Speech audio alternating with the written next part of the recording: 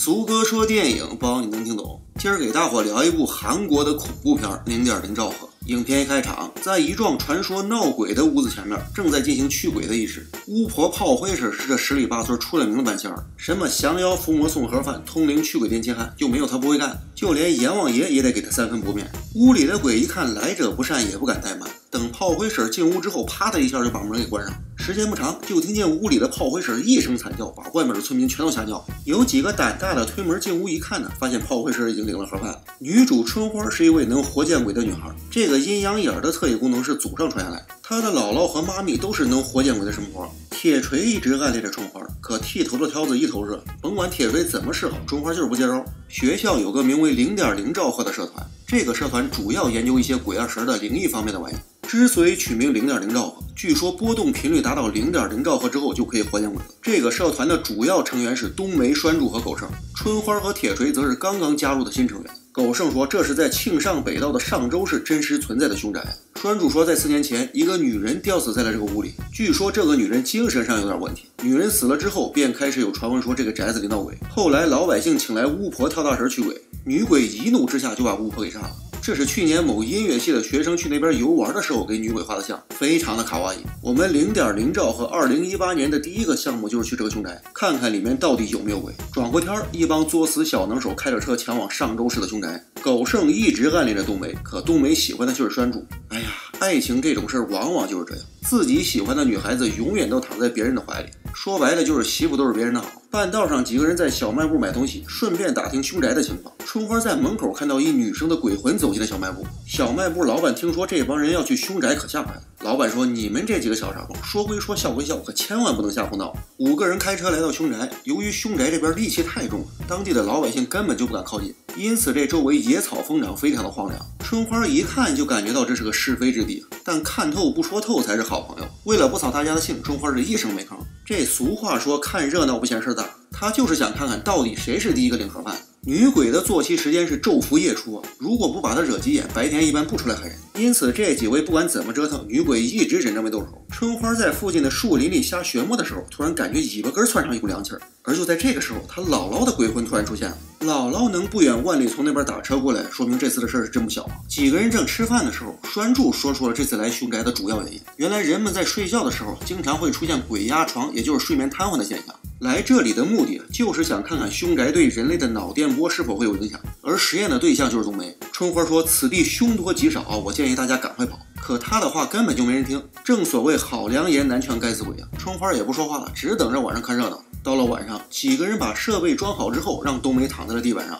要说这帮人准备的封建迷信的玩意儿可真不少，看着还真像那么回事儿。最后一项是背诵咒语。这整套程序有个很高大上的名称，叫做降灵术。刚开始一直没动静，到了后半夜，女鬼直接就附在了冬梅的身上。女鬼一出现，春花马上就感觉到了。栓柱和狗剩一看冬梅这情况，也吓坏了。还没等这二位反应过来呢，女鬼带着冬梅就钻进了炉灶。至于为什么往炉灶里钻，电影里没说，咱也不能瞎猜。恐怖片的特点是手机没信号还爱瞎胡闹。栓柱说：“咱这次可是捅了马蜂窝了，再不跑可就跑不了了。”铁锤，你带着春花赶快上车。狗剩去收拾装备，我去救冬梅。女鬼通过收音机说：“你们都死定了，就算跑到天涯海角，我也要追到你们天荒地老。敢在我家里瞎胡搞，谁都没好。”不过女鬼为了放长线钓大鱼，没有马上把冬梅给弄死。栓柱从地板下面救出冬梅之后，几个人开着车是落荒而逃。由于狗剩没有按照春花说的把玩偶给烧掉，因此埋下了隐患。冬梅被送到医院之后，经过检查也没发现什么异常。狗剩为了挣钱，经常把社团拍摄的灵异录像卖给某导演。由于这次的录像不同寻常，因此他狮子大开口，准备卖个好价钱。铁锤在睡觉的时候做了一梦，他梦见已经死去的哥哥掐住了自己的脖子。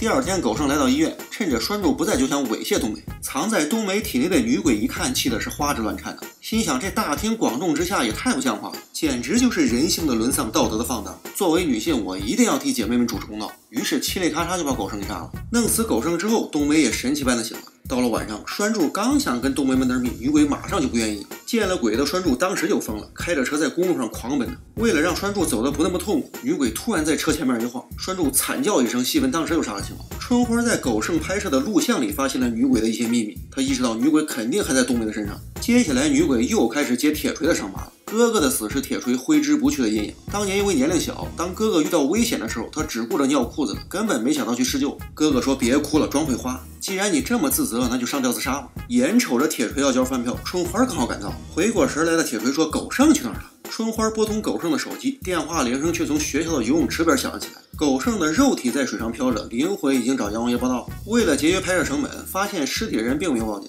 铁锤和春花赶到游泳池之后，春花又接到了拴柱的死讯，而且更严重的是，铁锤和春花的脖子和胳膊上都出现了和冬梅一模一样的伤痕。春花说：“我那位当巫婆的妈咪曾告诉我，一旦被鬼给缠上了，这辈子都摆脱不了。”冬梅说：“那咋办呢？”春花说：“要想彻底解决这件事，那就必须按照恐怖片的传统套路返回凶宅。”三个人开车回到凶宅的门口，春花给她妈咪打了一电话，妈咪说：“您姥姥给我托梦了，说让我必须阻止你。”春花说：“是福不是祸，是祸躲不过。”这就是咱们这个巫师家庭的宿命。由于春花的功力不够，姥姥的魂魄附在了春花的身上。春花特意跟铁锤交代，一会儿不管发生任何事，千万不要进屋。为了把女鬼赶出冬梅的身体，姥姥摆下了著名的螃蟹阵，发誓要将女鬼给清蒸了。咱也不知道姥姥到底用的什么法术，反正就跟那儿不停的吹口哨，把女鬼吹得只想要尿。女鬼说：“你怎么能用这种下三滥的手段呢？”俩鬼一言不合就动起了手。要说春花的姥姥是真不含糊，一顿拳打脚踢就把女鬼给揍懵逼了。不过这个女鬼非常的狡猾，利用超能力把铁锤给蛊惑了。铁锤这边刚回过神，女鬼的真身就出现了。三个人一看大事不好，撒子就跑。铁锤一个没留神就被女鬼攥住脚脖子拖进了炉灶。哎呀，我算看出来，这女鬼肯定是饿死鬼拖着的。春花说：“赶快把那玩偶烧掉。”铁锤烧掉玩偶之后，女鬼也消失不见了。影片的最后，本想着这事就这么结束了，可没想到这个女鬼非常的狡猾，在炉灶里那会儿就附在了铁锤的身上。看完这整部影片，我们还是来首唐诗压压惊吧。好好日子不去过，非得出门惹点祸。倒霉孩子太脑残，必须给他上一课。